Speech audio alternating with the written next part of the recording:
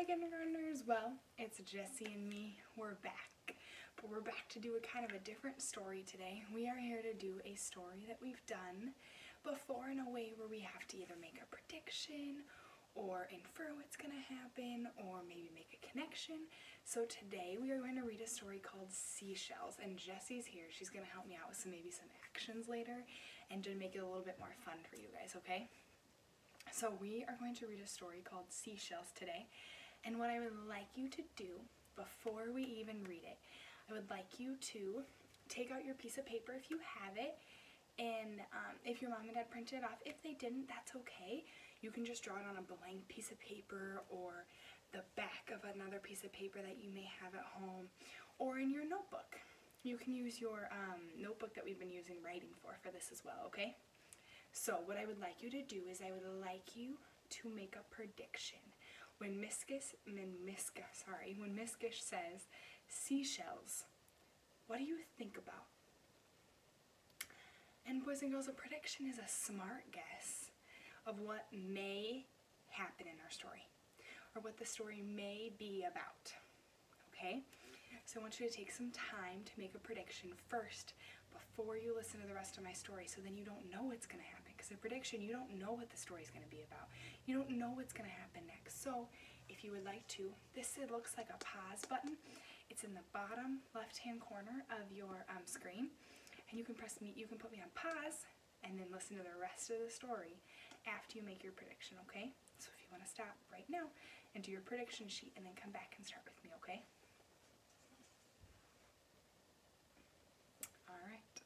Welcome back. I hope that you made your predictions already.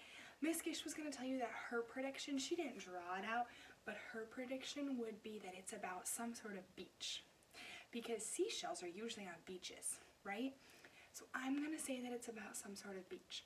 Now I'm going to give you a hint. Miss Gish has not read this story before, so I don't know what it's about. So I'm kind of in the same boat as you. So I'm going to say it's about a beach, and maybe there's some kids in the story, right? Hoping so. Do you think so, Jessie? She thinks so too. All right, here we go. So we're going to read the story today. And remember, we do a cold read, which is to read all the way through, and then we'll make it fun afterwards, okay? Seashells. The sun shined bright and hot in the afternoon sky. Henry squinted hard as he looked up for his shady spot on the beach. His shoulders felt warm and he could feel the heat of the sun on his bare feet. He loved spending the day at the beach with his family. He listened to his sisters. His sisters giggle and scream as the cool ocean water tickled and chased their feet. As the waves began to sink back into the ocean, Henry quickly got back to work to work looking for seashells. He spotted one and ran over to pick it up from the wet, pressed sand. He grabbed the shell just as the waves began to roar and splash back into the sandy shore. He studied the shell closely. It was gray and streaked with brown. The end was sharp, and Henry decided it must have been broken. He carefully placed it into his red bucket along with his other shells. So far, Henry had more than 20 shells. He couldn't wait to show his brother Avery when he got back from his run. Henry remembered how last summer the two of them had spent their days working together to find all the best looking seashells. Henry missed his brother's help this year, but couldn't wait for Avery to feel how heavy his bucket was with seashells. Henry became too distracted and didn't see the huge wave speeding towards him. Without notice, the heavy wave crashed hard into Henry, knocking him over into the rushing water. His bucket was swept from his hand as the wave pulled it back into the deep ocean. He jumped up and wiped the salty water from his face. As he started to turn away, disappointed, he felt a huge hand on his shoulder. He looked up to see his brother, Avery, handing him his red bucket. Together, they would start over.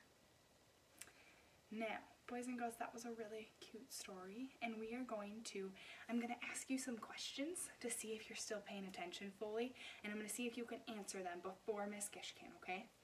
So it says, what was Henry working on at the beach?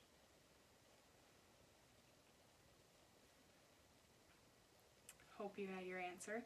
Now, boys and girls, I know it's not the same of answering Miss Gish, but you can still answer out loud talking to your computer, right? Because I'm talking to you, so you can still talk to me. Henry was working on finding seashells. So good job, yourself pat on the back. All right, next one. Who was Henry excited to share his shells with?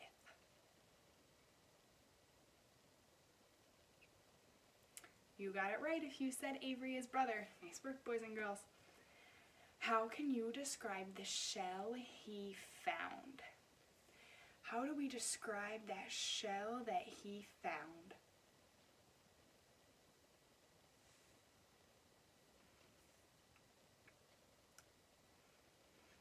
I gave you a little bit longer on that one. You can also always press the pause button if you want to think about it a little bit longer.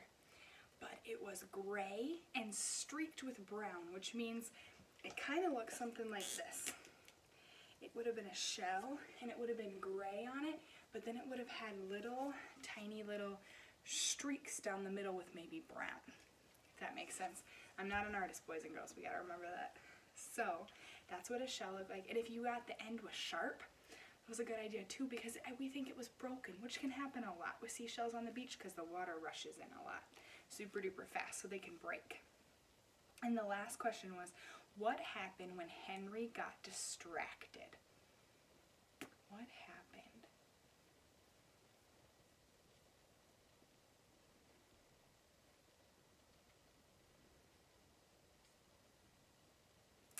All right, boys and girls, what happened? A big wave came crashing in, right? And he thought his bucket went everywhere, right? That can happen at the beach. That's happened to Miss Gish. If she turns around to talk to someone, boom, right? Water everywhere. So we got to be careful. All right, we're to do a little something fun. We're to do an action read. And boys and girls, if your mom and dad don't know what an action read is, maybe they can join in or your younger siblings can join in. All right, we're to do an action read. Jesse, you ready? All right, here we go. You can follow what Miss Gish is doing, or you can make up your own. All right, we ready?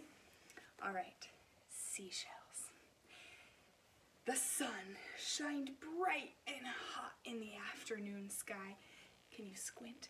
Henry squinted hard as he looked up from the sandy spot on his beach. His shoulders felt warm, and he felt the heat of the sun on his bare feet. He loved spending the day at the beach with his family. He listened to his sisters giggle. Can you giggle? and scream. Can you scream? Ah! As the cool ocean water tickled and chased their feet. As the waves began to sink back into the ocean, Henry quickly got back up to work. Quickly run. Quickly ran back to work. Looking for seashells Put on your spy eyes, looking for seashells.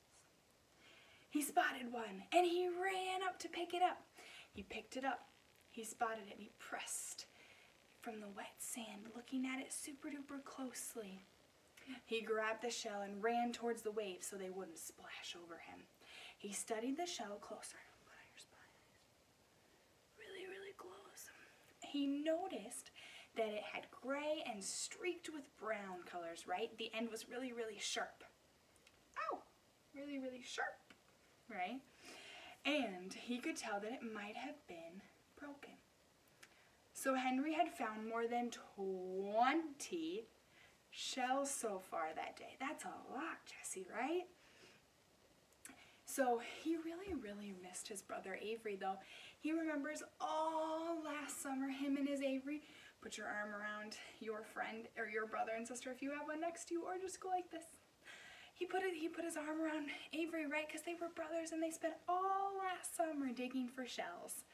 And this year his brother was on a run, but he couldn't wait. Smile on your face. Couldn't wait to show all of the shells he had to his brother Avery.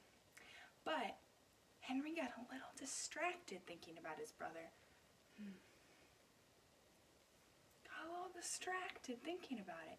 And all of a sudden, a wave crashed into Henry, go whoosh, whoosh. And the rushing water scared him. His bucket fell out of his hand.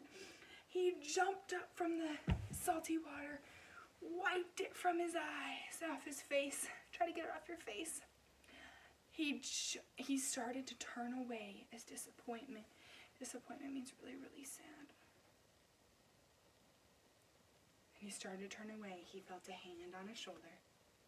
And he looked up and saw his brother Avery with his red bucket. And they were going to start again looking for shells together. hold on to your stuffed animal or a brother and sister, they're going to start again. That would be like me and Jesse starting again to look for shells again. All right, boys and girls, thanks for joining me in our action read today. We're going to do one more thing with our story, Seashells.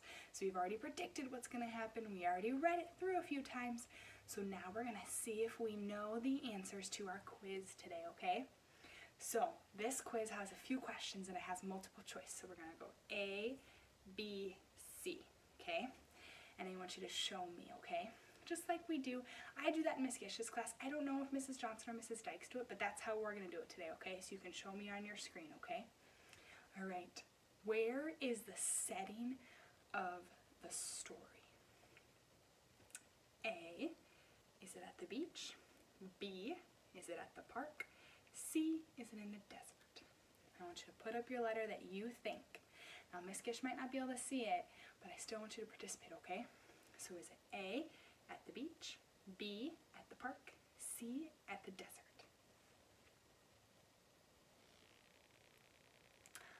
Nice work if you got A at the beach, right? Nice work. All right, next one. Why were Henry's sisters giggling and screaming? A, the ocean water was tickling their feet. B, they saw a shark in the water. Or C, Henry just told them a very funny joke. Hmm. A, the water was tickling their feet. B, they saw a shark in the water. Or C, Henry just told them a funny joke. Hmm.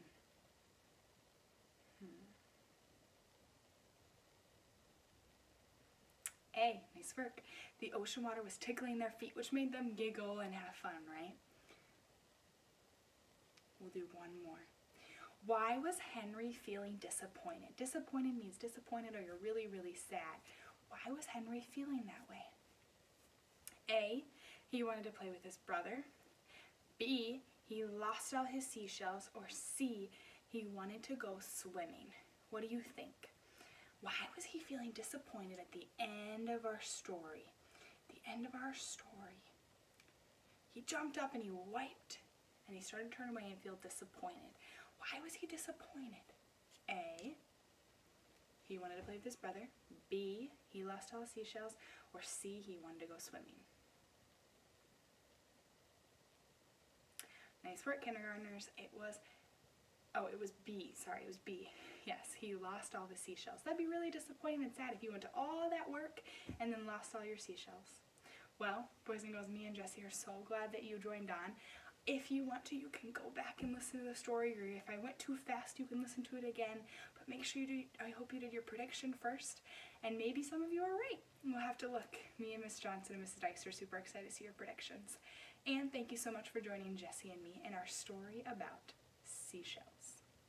All right, thanks boys and girls. See you later. Bye.